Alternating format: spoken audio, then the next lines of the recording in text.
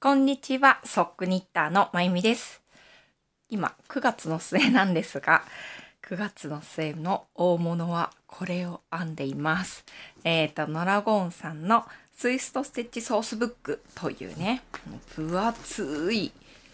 本の最後の方のページなんですが、 Extreme Yoke Pullover という名前がかっこいいんですよ。これを編んでみています。エクストリームっていうのは極端なって意味なんですが、このね、ツイストして作るステッチを毎段、こうくるくる輪で編む、毎段、こう、ツイストしていくという意味で、で、ヨークの部分、この首のね、これじゃないんですけど、この丸い部分に差し子コンパクトっていう、えっ、と、ステッチを入れて編むもので、しかも、えっ、と、下から上に編んでいくというものをしてみたかったんですよね。で、あ、プルオーバーっていうのはなんか引っ張って上からスボってこうかぶれるセーターの種類というのかな。これとセーターの区別がよくわからないのですが、えっ、と、この下から編んでいって一緒にするという構造、どういう構造で下からこう編んでいってできるのかっていうのを知ってみたかったので、ちょっと挑戦してみています。で、なんと袖のところもね、こう編んでいって、で、そこで一気にこうくっつけて、で、あの、ヨークの部分に柄を入れるということなので、そこまではね、まあ、まっすぐというか、まあでもちょっとウエストもシェイプするみたいなので、ちょっと楽しみに編んでみています。今日はそのセータープルオーバーを編み始めたよという動画になると思います。で、ちょこっとだけね、どんな感じかっていうのを撮っておきたいなと思います。全体の編み方についてはこちらの本を読んでいただけたらなと思います。で、えっ、と、ちょっと悩んだんですが、今回使う糸はこちら。オパールケイトいただき物です。ヴィンセント・ヴァン・ゴッホの、えっ、と、アルルのブドウ畑っていうんですかね。の、この色がいっぱい入っているものを編んで使っていこうと思います。えっ、と、手染め糸の白っぽい糸とどっちにしようか迷ったんですね。で、手染め糸の方が柄を編んだ時にすごく生きるなとも思ったんですが、えっ、と、今回作るのは下から2番目の S サイズのもので、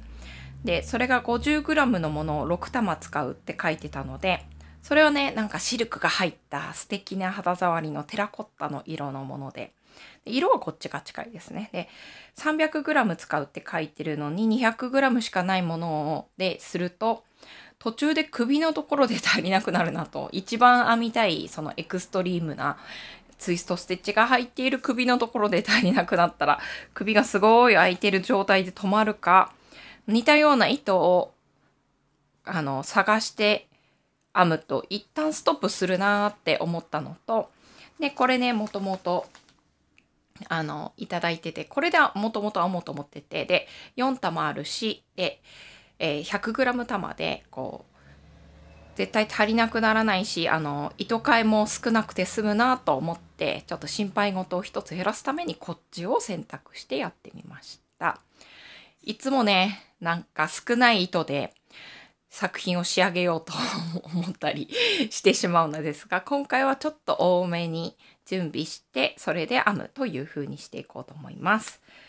ではでは。で、今回使うのは 2.75mm の2号針というものなので、ちょっと特殊なんですが、1本80センチのね、針を持っていて、で、あと、2号針はダイソーさんで4本針かなをゲットして持ってたので、でそれで袖を編んでいこうかなと。で、最後にこうくっつける感じでいこうかなと思います。2.75だと付け替え輪針のものを持ってないので、残念ながら、せっかくね、付け替え輪針細いセットと太いセットをゲットしたんですが、今回はこれで1本で編めるかやってみようと思っています。アディのプレミアムです。一番好きな針です。で、えー、っと、このね、もう下の裾のとこのステッチがもうすごい素敵ですよね。私がこんなのを編めるなんてね。こっちが表でこっちが裏です。で、表編みと裏編みだけで編めました。えー、ゲージも大体一緒だったので、やっぱこの2.75でいこうと思っています。で、これが、後ろの方、あ、こっちか。こっちが前ですね。オレンジで始まった方が前でこっちを後ろにしようと思っててでこれ2枚あるんですね。でこっち編み終わったのでそこからキャストオンして前の方を編んででそっちはね糸がつながった状態でこっちはつながってません。こっから輪にするところだけをちょっと取っておこうかなと思います。いやーこのステッチも楽しいしで今往復編みで編んでるのでこっからこうつなげで輪で編むのとまた柄が違うと思うんですよねあとどっちを前にしようかっていうのも楽しいしほら私ここギザギザに編んだつもりないのにギザギザになってるのも面白いなと思います。で、このシーンでどっちを前にしようかっていうのを自分で悩むこともできるかななんて思いながら、こっちの方が明るいからこっちを前にしようとは思っています。ということで、この2つをくっつけていきたいと思います。ちょっといろいろ考えたのですが、くっつけようがなさそうなので、これよりも細い針に滑り目で移してからくっつけてみようと思います。こを考えてね滑り目をしてきました何かのね えっ、ー、とスクラップヤンとかに入れておいてもよかったかなと思います。こっちの方が後ろの裾でこっちが前の裾にします。で前の裾の方が糸がつながってってで重ねる目数分をここにねこうしていきたいと思います。でそのためにもう一本えっ、ー、とこれをあの袖用に使おうと思っていたダイソーさんの竹のね4本針2号針を使っていきたいと思います。これを重ねる目数分こっちにこう移して。でここを重ねて持ちます。そして1目だけ表編みします。ちょっと見えるかな？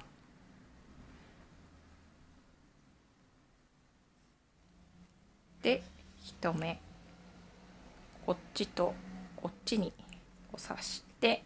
編みます。でここでちょっと取り外し可能な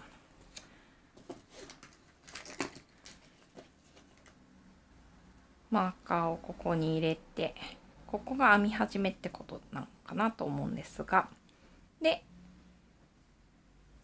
2目目もこうして編みます。これで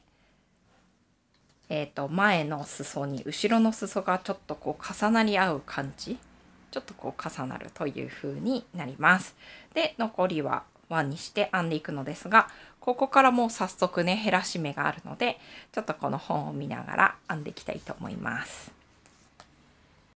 減らし目をして編んできたら最後2目余っています。これとこの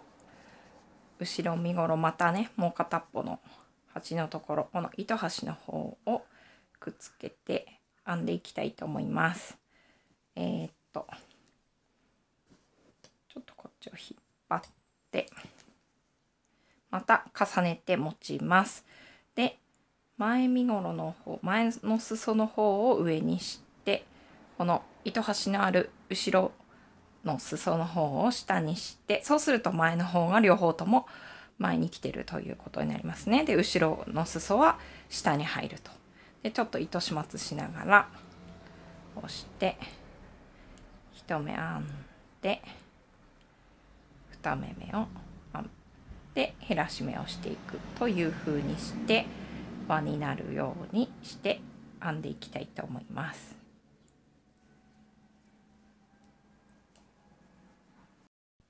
と糸始末の仕方フランス式バージョンでマルヒア探してたので挑戦してみたいと思います。糸端の方を手前で糸玉を奥にして中指の方にこうするのと短くこう持つのをこうしてでなんかここ逆にって言ってたんですけど未だにやっぱりそれができないので私はこんな風に段差をつけてでと下からこう編む。上から編むこの糸の下から編む上から編むあら。というふうにするとこの糸が上に行ったり下に行ったりしてできそうです。もうちょっとやってみよう。慣れたらねもう少し見やすい動画を撮れるかと思いますが初挑戦という動画を今撮ってみようと思います。えー、っと下から撮る上から撮る。これで10目くらい編んだらあ結構早くできそうですね慣れたらね。これで編み込みとかもできるようになったらいいなと思っています。ということで糸始末してあと減らし目をしながら一周輪にしていきたいと思います。一応段差をねここの長さもちょっとこっちが長く見えてるけどえっ、ー、と段数は数えてませんが長さを測って合わせてみました。これも糸始末していこうかなと思います。じゃーんということでちょっと分かりづらいですがこっちが後ろの方が内側になってこっち表でこっちが裏という